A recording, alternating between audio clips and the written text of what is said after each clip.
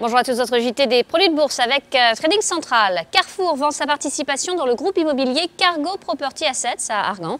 Une opération qui se situe dans le cadre de l'objectif du plan Carrefour 2022 de céder pour 500 millions d'euros d'actifs euh, immobiliers non stratégiques.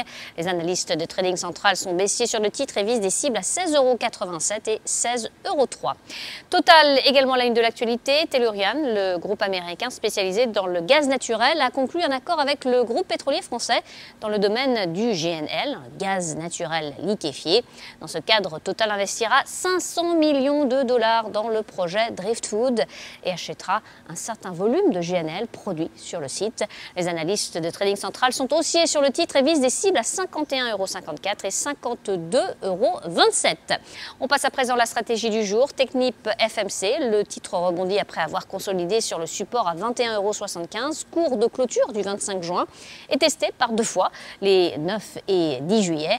Du côté des indicateurs techniques, la moyenne mobile à 20 séances exerce une pression positive sous les cours tandis que le RSI est bien orienté au-dessus des 50 sans être suracheté.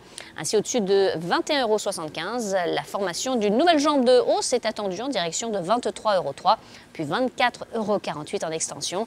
Portez-vous à l'achat sur le Varan Call H561T émis par Unicredit de prix d'exercice de 24 euros et de maturité au 17 juin 2020. Allez, on termine avec notre coup de projecteur sur le DAX 30.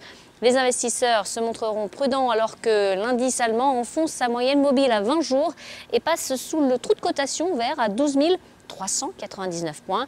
L'indice doit se maintenir au-desdessus des 12 190 points pour préserver ses chances de rebond vers 12 645 points.